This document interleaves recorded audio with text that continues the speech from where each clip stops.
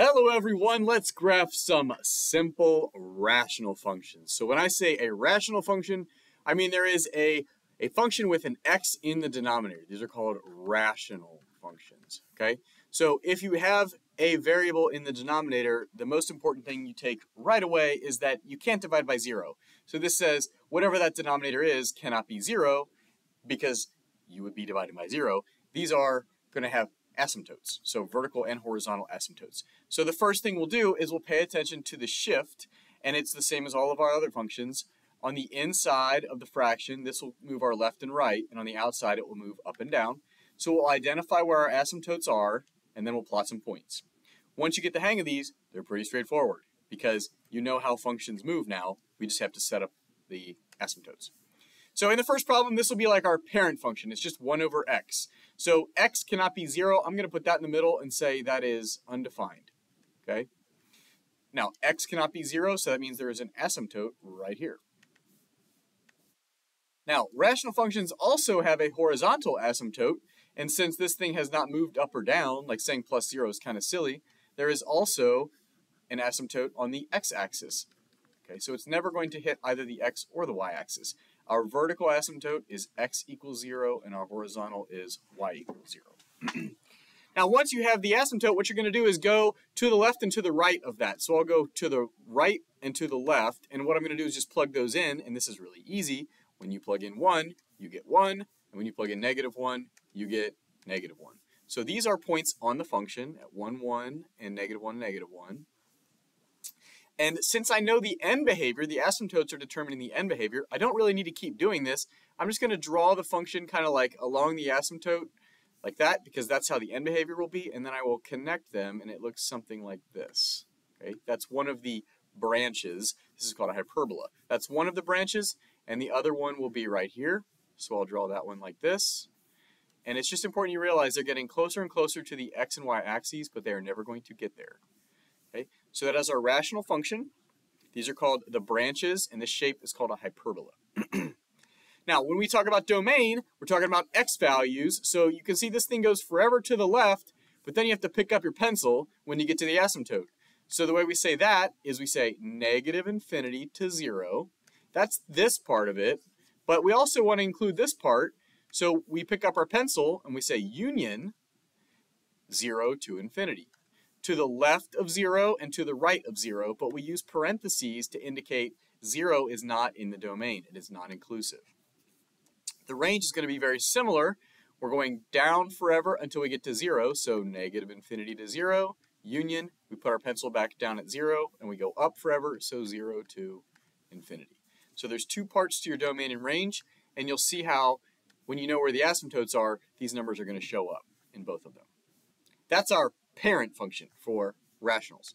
Now let's actually move it around and we'll make it negative. So x plus 3 moves the asymptote, the vertical asymptote, left 3. So that is at negative 3. First thing I want to do, x equals negative 3. y equals negative 1 is the horizontal asymptote, so I will draw that right there. So the sort of center of your hyperbola is right here at negative 3, negative 1. That's how it's moved, left 3, down 1. I'll put negative 3 here, and remember that's undefined because if you plug negative 3 in, you get 0. To the left of negative 3 is negative 4, and to the right is negative 2. now, these are easy to plug in as well, but you got to be a little more careful. Negative 4, negative 2 over, negative 4 plus 3 is negative 1. So this is 2 minus 1, which gives you 1. Negative 4 would be at 1. Negative 4, 1, 2, 3, 4. Uh, Wait a minute. I feel like I did something wrong. Negative 2 over negative 1 is 2. Huh, we're okay. It's at 1. 1, 2, 3, 4 as a 1 right there. Okay? And now I'll do the same thing with negative 2. So if I plug in negative 2, negative 2 over positive 1 is negative 2 minus 1, which gives you negative 3. So negative 2 is at negative 1, 2, 3, right here. So this one's going to be a little different because it's got a minus sign. So instead of looking like this, see how the branches are in the top right and the bottom left? Here they're in the top left and the bottom right. It still follows the end behavior like this, but it's bound by those asymptotes. So it's like, there we go. There we go. And then up here, same idea. Okay, but kind of weird. There you go. Looks something like that. Okay. Uh, the domain is negative infinity 2, so it's forever left until you get to the asymptote, which is at negative 3 in this problem, union. Then you put your pencil back down, negative 3 to positive infinity. So this number right there will always be the asymptote. That's for the domain. And this guy right here is going to be for the range. So negative infinity to negative 1, union negative 1 to infinity. Negative infinity down up until you get to negative 1. You got to pick up your pencil, and then negative 1 to infinity. So yeah, notice how this minus sign makes the branches flip. Okay, this used to be down here, but it gets flipped over because it's got that minus. Let's try another one. First, identify the asymptote, x equals 2 and y equals 1. So x equals 2 is right here, y equals 1 is right there. Okay. So now we know where the sort of center of our hyperbola is. I'll put 2 in the middle, that's undefined because you can't divide by 0, and then we'll try 1 and 3. When you plug in 1, 3 over 1 minus negative 2 is negative 1. So this is negative 3 plus 1, which is negative 2. So 1 is at negative 2 right here. And when you plug in positive 3, that's 3 over 1 plus 1, which is at 4. 1, 2, 3 is at 1, 2, 3, 4, right there. Okay, so now we have an ordered pair in either sort of quadrant of our hyperbola.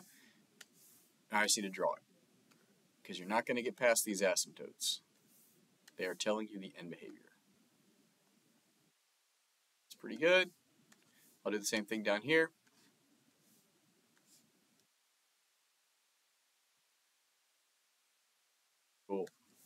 Okay, so domain, negative infinity to the asymptote is 2, union 2 to infinity. And then range, negative infinity, the horizontal asymptote is 1, union 1 to infinity. So to the left of 2 and to the right of 2, that's the domain. Below 1 and above 1, that's the range. So they're all going to feel pretty similar, and you're going to notice that when you pick these numbers to the left and the right of the asymptote, it makes it really easy to plug in. Two more. First, right 3 down 2. So right 3, x equals 3, down 2, negative 2. So right 3, down 2. Our center has moved from 0, 0. Okay. Now when I plug in 3, I know that's undefined, so I'll try 2 and 4. When you plug in 2, 1 over negative 1 minus 2 is negative 3. Uh, when you do minus 2, you get negative 3. So 2 is at negative 1, 2, 3 right here. And when you plug in 4, 1 over 1 minus 2 is negative 1. So 4, 1, 2, 3, 4 is at negative 1. There we go. And again, now you just draw it. So you're, you're boxed in by these asymptotes. I'll try to draw all of them and connect them. something like this.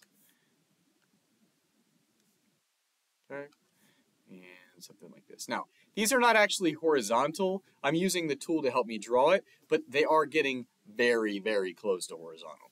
Okay, the domain is negative infinity to the vertical asymptote, which is 3, and then 3 to infinity, and the domain is negative infinity to the horizontal asymptote, and then above. Okay, one more. So last one goes right one, up one. So x equals 1, y equals 1. So x equals 1, y equals 1. Those aren't actually on the function, that's why we make them dashed lines.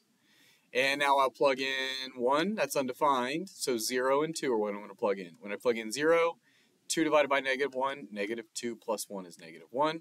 When you plug in 2, 2 over 1 plus 1, 2 plus 1 is 3. So 0 is at negative 1, 2 is at 3. Yep, that looks good. And again, I'll draw it like they're asymptotic. Something like that, okay, and something like that. Okay, looks good. Domain, negative infinity to the vertical asymptote, vertical asymptote to infinity. Since they're both 1, the domain and range appear the same. Okay, but these are describing x's and these are describing y's. All right, so that's it for the simple rationals. You've got a homework assignment that goes with that. Go ahead and get that done. Hit that like button and smash that subscribe.